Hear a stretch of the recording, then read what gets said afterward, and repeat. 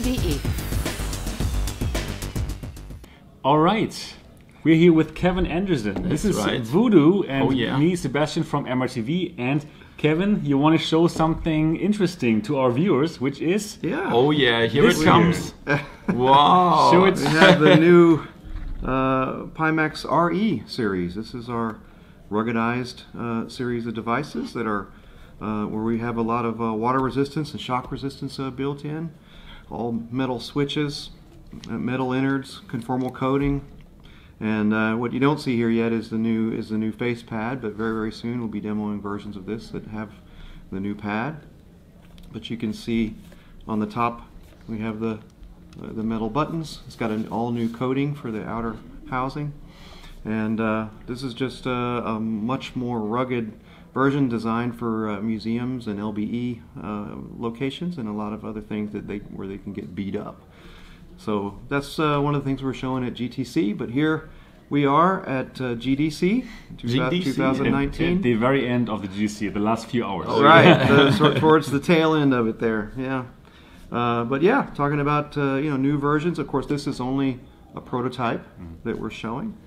Uh, but so it's going to take uh, you know a couple months for us to continue to refine it and add to it. Next versions that we show will have the new uh, the new face pad, and it'll have the new uh, rigid audio, what we call the rigid audio head strap, which has your has the earphones and. But you know we're working on the comfort aspect of the head strap and the foam and the foams will have uh, the, that one we're talking about is uh, PEX foam, which is made for very repeated uh, uses in a large environment with the crowd in effect. So, but anyone will be able to uh, get these things. They won't be limited to, to, uh, you know, to uh, just businesses. So if someone You're gonna get feels uh, Yeah, uh, feels the need that they that they want this version, I think uh, you know there would be be no problem. So um, I think for me, the interesting part is the, the waterproofing. Since Yeah. I like to sweat uh, oh yeah. Me when, well, when yeah. I play some games. Sure. So um, you believe this is going to withstand the MRTV sweat test? Are you going to throw it in a fishbowl? Well, yeah, It'd be the fish- I'm inside. the famous fishbowl test, the shower test. right, right. So No, uh, I don't think it would do the shower test well or the Okay. fishbowl test, but the sweat test, I think you could. It will pass that quite easily. Wow. Oh, that's good. Um, Can you tell us how you sweat proof this? Because well, we know there's so many problems with the the Vive headsets, right? So tell us how you. Yeah, what we what we do is we use conformal coating uh, on the boards, and actually at GTC we were we broke it all apart so people could see all the innards, but. Um, but basically, we have uh, a new version of electronics that spreads the heat out more, that lets us conformally coat it properly, and uh, and have it where all the electronics are completely protected. And then we have new some new pieces inside that hold the boards in place. And so when you have an impact, we you know doing experimentation on the Im- different kinds of impacts when people are in a LBE and they're you know they're running through a you know maze or something and they hit the Run sides. against the wall. and Play, playing Yeah. horror games and then running through. Yeah, them. I've seen Yeah, uh, you know I- I've I seen know graveyards of uh, LBE uh, headsets. You know, so um, this is uh, something that should allow them to keep their uh, their uh, device that, that is where the revenue comes from uh, in operation all the time. So this can fall down, and it will be okay. Yeah. Let's, let's try. You should have seen me. Uh, uh, you would think I was on my trip here. You'd think I was experimenting with it that way. you tried it. Yeah? But yeah, I got that firsthand several times. Uh, but uh, but yeah, and this is using a new coating. Uh, this is we don't know if this will be the wind up being the final coating, but uh, this is a very nice uh, coating that uh, is is used to prevent scratches and, and other things, and uh, and to keep it nice and pristine looking, even if it gets beat up. Um, Right. So So I can scratch it and it doesn't. That's good. it is good. Yeah, okay. It's a it's a pretty uh, it's a pretty robust coating, uh, and the the coating is also intended to, to keep it from, you know, from real heavy impacts from from just um, negatively leaving a bad mark that you could. Uh, this is intended to keep marks from impacts down where they're hard to see. Nice. Also, um, the buttons are different now. They look different. Yeah, the buttons are metal and all the internal mechanisms are metal. Um, and as we move, we actually are using uh, Uh, those are uh, metal buttons, but we're actually experimenting with the types of metal that we're going Right. to be using in the buttons. But um, the the uh, all of the the uh, the front the, the- on the new version, this front line uh, won't line up because this entire piece is metal. All right. This is also metal. Yeah. so, so no more LED lighting What? now. No blue On the light. consumer- on the you consumer cannot ones. that. No more blinking. Boom, boom. No. on the consumer ones, it'll have that. Okay. Uh, on the on the ruggedized ones, you won't. That's okay, I, I believe. I mean, Oh, the, the, the blinking. I- I need was, On the consumer ones, we're going to do some more things with that. Okay. All right. But uh, but yeah, on this one, it's going to be uh, our entire focus revolves around uh, protecting it against uh, all the eventualities Right. of, of getting beat up in a, So, in a, uh, business environment. So what about the head strap? I, I want a head strap. Yeah, well, of course, you know we have the rigid uh, audio head strap uh, that's uh, that we're uh, been experimenting with for a while, and uh, but uh, and and I've tested it myself, and I and I, I do like it. But there, uh, out of maybe 150 people we've tested it with, maybe three Liked it? no, didn't. Oh, yeah, liked it. Like it. Okay. uh, no, maybe three or ones that were just wouldn't fit, and uh, and so you know we're still uh, iterating, trying to catch. We figure if we can catch. If we could catch those three and still keep the other 147 happy, Right. that, that we'll have something. Uh, we'll have a winner. But uh, so yeah, I think the one of the probably the next time that we show this, we'll be showing that along with the new uh, with the new PEX face phones. Uh, we have quite a few of them in the lab, and uh, that you know that were tested daily with the, all the testers. So next steps will be to get these things out to guys like you, and would especially great, yeah. To give us the That's thumbs good. up or the thumbs down, and really Right. run it through a good Yeah, uh, run the it. MRTV sweat test. I will do it. I will do it. Uh, we were also showing the uh, eye tracking at uh, GTC, Okay. and we were showing how this uh, new. We've been one one of the things I mentioned a little bit was that um, you know when you when you add eye tracking, especially the eye tracking that the backers are going to get, uh, that's part of their uh, you know their Kickstarter, um, is to make sure that you don't when, when you snap in the eye tracking, you you lose a little bit of field of view because it's a snap in from the outside. So one of our focuses is to, been to make sure that we don't we don't negatively impact that in fundamental ways. So we've got that little the leading edges of the pickups down to a very small, uh, very small piece. So you only lose a very slight amount. And our first prototypes, though, you know, it, uh, it it was something that you know you could really tell. So now we've got it down where it's barely noticeable. Great. For both um, the, the RE version and the consumer version? Yes, use the uh, same our plan- module. Or? Yes, our plan is for all of our modules, and there's quite a few both in testing and, we, uh, and various things that will become available. Uh, but uh, the plan is for all the modules to be compatible with any Pimax headset, Right. no matter when you bought it. Okay. Uh, so you know you can attach the modules on the top, you know, or on the bottom. You can run two, Okay. and you can even daisy chain them. So theoretically, you could have more than two. Uh, so you could have housings that have two, where there's really two modules integrated into one? Okay. and it just snaps in. Interesting. And we actually have. Oh, by the way, you know, at, at GTC we were showing an inside-out tracker for the. Oh, really? Yeah. Inside out tracker What? for the Yeah. Pimax. Oh my officially, Not, a- not a- officially confirmed, you know. not officially, but uh, we we were dem- the unit. I'm sure people will will point out that came to the booth and saw us using that. Okay. Will um, say, "Oh, what was this?" Right. And it was uh, we have it where you just attach it to the bottom, and we were doing a couple of our demos. We, were, do- we were doing an architectural demo with a company called Ecoplants, uh, who does high-res textures, and those demos we were doing with the inside-out tracker on the Pimax. you just snap it right in, run their app. It- we were working. We were playing around with Steam games and Nice. uh, Oculus things and all that with the with the inside-out tracker. Cool. It does work. cool. It, it wasn't real Nice. pretty yet, Yeah. but it does. It's great. It works perfect. Cool. So when is this uh, the RE version going to come out?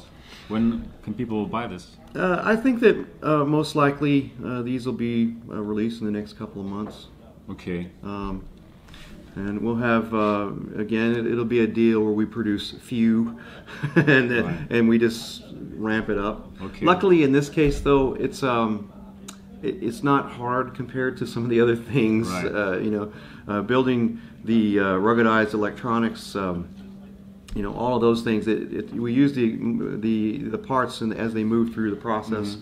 Uh, it's the same. It's basically the same process, but with with adders, Okay. uh, where you use different components here and there. So uh, I have another question with the what what's with the cable? So some people had problems with the cable, uh, what were destroyed or had problems. Right. What's with this? Version? Originally, with the cable, you know what a continuity check is, where you just check to make sure the all the signal passes through the cable. That's how they tested it at the plant, at the third-party plant where we buy the cables. They had a check for that, but there was some uh, some cables that had some uh, some of the uh, uh, some of the material that you actually protect from interfer- EMI interference with had gaps in it. Okay. And so those people are getting actually interference from their computer, from their processor and their computer mostly.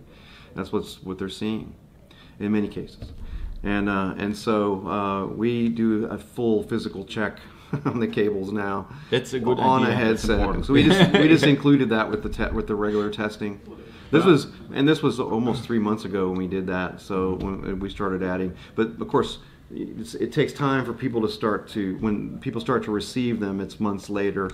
So what the kinds of things that you see now are, are all often things from months ago. Right.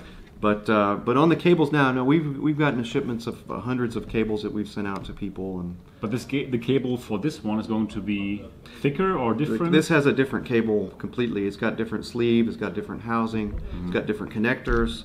It is Okay. much stronger. Okay. It's a cable that, literally, it even has, uh, when you plug it into the, uh, an example at GTC, someone stepped on the cable right on the back of the PC. They got their foot on that, and it just, it literally ripped the, you know, the, uh, the cable pulled it down and it bent it to an, almost a 90 degree angle. Right. Uh, on the new cable that's for the ruggedized edition, that's basically impossible. It'll, it'll lift the whole computer up when you do that. Okay. All right. Okay. So it's ruggedized. It's a it's a monster cable, not literally. The So trademark, will it uh, will it will the connected the connector will not fit in the in the standard? Th- this side of the cable, this one will, but it's got a sleeve. It's got a sleeve that comes down. Okay, so could I buy that the, the cable? Theoretically, Separately? I don't. I'm not against uh, opening it up for people. It would be a little bit more money for that. Okay. That's kind of a little bit expensive cable. Right. It's Yeah, like an sure. extra, you know, ten or fifteen bucks. But Probably uh, worth it. How about the length? uh, it's a for that one right now. We it's a it's like a nine meter cable. Nine meters. Mm-hmm. Yeah, that's enough. Nine meters. Nine meter. It's like eight, 20 foot cable. That is like very long. Yeah, and then we have the regular one that's really close to the regular size. But Okay. the the one that we've been testing with is for LBEs Right. They and for yeah. and for venues. So it's a longer low. It's a low impedance cable, Mm-hmm. uh, but it's a very strong low impedance cable. Uh, the, we're gonna have a shorter one too. Okay. Having different lengths of that same cable is no big deal. Good. So uh, some people had problems with these edges here. They are breaking with, without even touching. Yeah, those are all. That's all from housings that are that were made. Okay, so, so I I see here some some problems as well. Is, is that You should have seen what caused that problem. A, a drop from about eight feet. eight feet? Okay, so you already tested it. I didn't mean to, but uh, yeah. So so the edges are now safe, uh, safer than uh, with older versions. Yeah, I thought we the were deep. other When I dropped it like that, I thought, man, it was far worse than the. Uh, it was far worse than the um, than what we planned for. so so uh, the fact that it uh, that it that it bounced around like that on a concrete floor was a pretty good test, unintended. So it came back up when it bounced. I tried to actually. Here's what's really bad in my clumsiness. I grabbed it and it went back down again. but uh, Yeah. but no, it's uh, it's a vastly uh, improved on that. But as far as the housings themselves go, uh, most of the housings aren't actually vulnerable to directly to uh, you know uh, cracking and that kind of thing. But um, when but there was an error in the process when they were being made that uh, originally a while back when the where the cooling process and they have a, we have another process that happens after the cooling called deburring and that's where you that's where you smooth out the, the plastics and get all the edges and all the little little flecks off. And they, they had a deburring process that was uh, was causing microfractures from the frozen from the uh, from the especially from the edges and uh, but no, that's I haven't seen that on any of the housings that are the newer ones. Uh, even Okay. I'm talking about when I say newer, months ago. Um, of course, some of the housings that passed the test, they were still trying to use them. Some of, some of them, where they got past all the analysis because they have a vibration test and a whole bunch of them were still used. So some of them were using even more recent devices. So the fact, if you have a recent device, there's still a chance that you could have that, you know, one of the original housings. So, but uh, but there wasn't, but about of the, even of the original house, there's only like 1,400 of them, and only maybe 10% of those had uh, had that deburring process and cooling process. So I suspect we'll see those 140 units, all of Coming back to you. Okay. So did you change anything uh, with the lenses? I don't think so. No. That's the same lenses then with the Right. original ones. No, it's the same lenses as the original ones. We the the the electronics are basically the same, but we've done some things to spread the heat out differently because of the conformal coating, and uh, you know, and we have uh, stronger connectors on, on some other things, but for the board itself. But uh, but yeah, So how how hot will the device become? Because now you have this coating, right? So there must be some kind of heat. it's just spread out more. Okay. So you don't see it concentrated. Right. Okay. Okay. It's the same as before on the heat, except it's except it's spread out over a wider area. Okay. Cool. So you're going to have um, three versions of this: 5K plus, For now, yes. 5K OLED, and 8K. Right. It'll be the same three versions we had, but in a ruggedized. Um, there's probably 25 improvements on the organization on the device Cool. um, so, to provide a nice value proposition for businesses. And the device is going to be roughly $500 more expensive than the base version. Yeah, the the um, the 5K Plus is 12.99. Oh, you have, oh, cool. You have the price already, so That's cool. you can tell all the prices, perhaps. Yeah, the, the 5K Plus is 12.99. The uh, the 8K is uh, 14.99, and the OLED is 15.99 Okay, cool. for the ruggedized version. Great. And uh, the prices on our existing versions are, are unaffected. Perfect. Okay. And of course, we're going to be getting out the next step to some of the backers with the, you know, with the face pads, and Right. and of course, we've got our glasses uh, adjust or insert for the glasses. Um, probably you can um, tell us a bit more about the new um, foam packs you said. it? Oh yeah. Well, that's that's for the ruggedized version. Yeah, right. Although It's- we'll probably, it's not I'm this, sure, it's not this one. I'm sure we'll make all of those parts available to, to anyone. Uh, we're not going to just say, oh, you know, this Yeah. SKU is exactly for this guy. We're, we're gonna we're gonna list all those out and you'll be able to get them. Okay, But the there's ruggedized we have, as you can see, even on this, it's a thick. It's a it's you you got um, some people have them where the where the foam is uh, is actually stronger. Uh, it, it, it keeps you it keeps your distance from the lenses a little bit uh, a little bit more. Uh, but we have uh, four of these foams as well, and three new ones. So uh, that's something that people are going to see very rapidly, I think. And then, of course, the rigid head strap, um, which is something that we've been working on uh, a great deal. Will you ship us uh, um, more pieces of uh, that with the ruggedized version? So some people have uh, a better or, or less distortion if the face is uh, more. Put a lot of thought into that on these new on these new foam pads. And uh, so they actually cause the distance to be different, and uh, they also uh, have thicker padding in different areas. That for we've been trying to sort of boil down the the people that get improvements into just a few more. We didn't want to have 50 foam pads. We wanted to try to boil those features down where people get the best experience down into just a few more Okay, cool. and then make those easily available. Maybe even include them, you know, in future devices. Just have the multiple Right. ones in the box. You know, Okay. I think our viewers are very excited about the head strap. Yeah, sure. Right. So, um, tell us when can when can the backers or the general public when can they get the head strap? uh, that'll be that'll come down to the results from the testing. I think we'll very soon, you know, the next few weeks, they'll start entering into te- into some decent testing. If the testing reveals that changes need to be, if come back and you know, like you and Voodoo here, come back and say, "Oh my God, what were you Yeah. thinking?" If you- If it's something like that, and we need to make significant changes, especially changes that cause us to change the tool, then you can you're going to add 30 days to it, Yeah. and then we do it again. Uh, although we've been doing a lot of internal testing, I think I don't. I I hope that your reaction to it will be positive. I hope so as well. Um, Are we talking within the next three months or? Oh, next- yeah. Okay. okay. Nice. Within the next Oh, yeah. three months, we can get. I think you'll. I think you'll get to see it, and then we'll do some Right. some public things, and people get to. We'll get some review units of some of these parts out, so people can check it out. And uh, but um, again, when we do that, you, we would ask that you make sure people know that those are prototypes. And Yeah. sure. They're, they might be very close to their final. Okay. You know, those Right. will be like ninety-five percent Okay. uh, devices.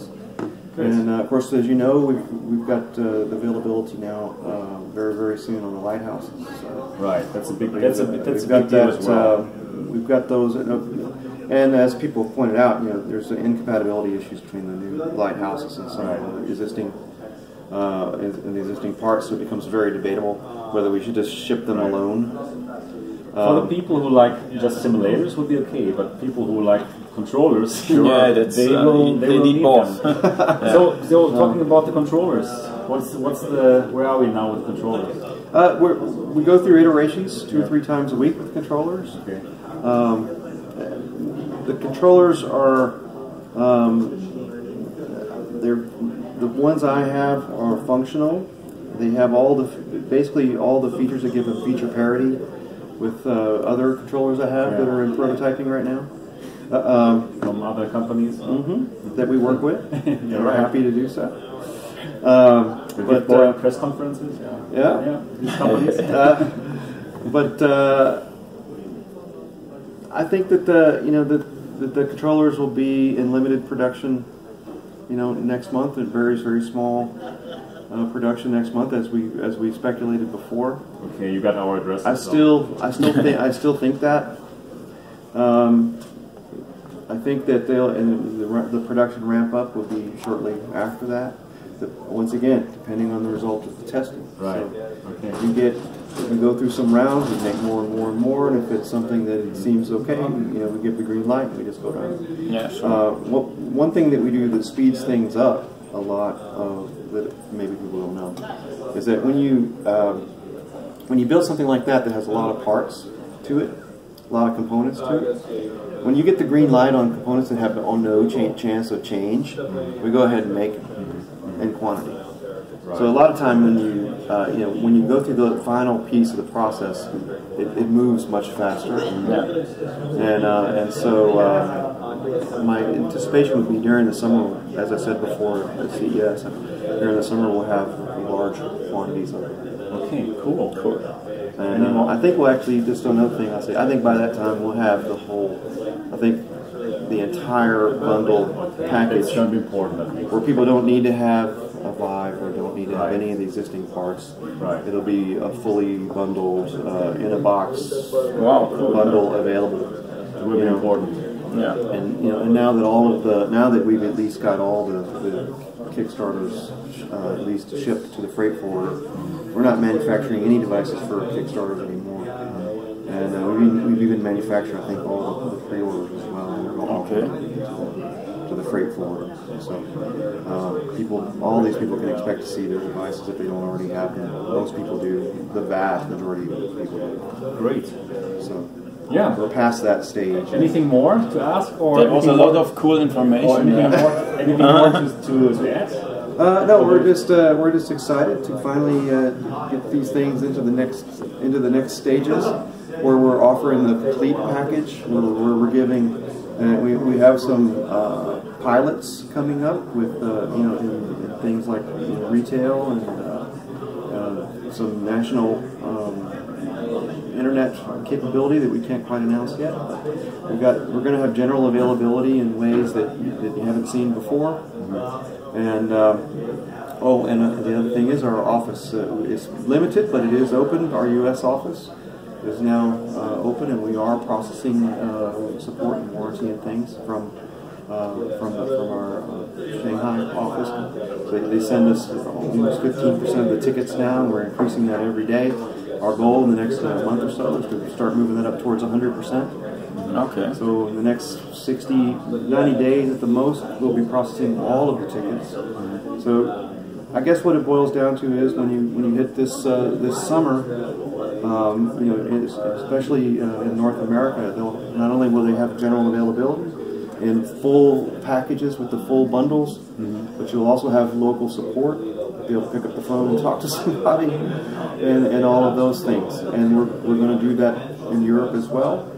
And I'm operating the, the European operation now as well. Congratulations to that. Yeah. So uh, we're going to be adding a lot of. you need to learn German as well. yeah? So I'm, spricht er I'm hoping. Yes, Frank.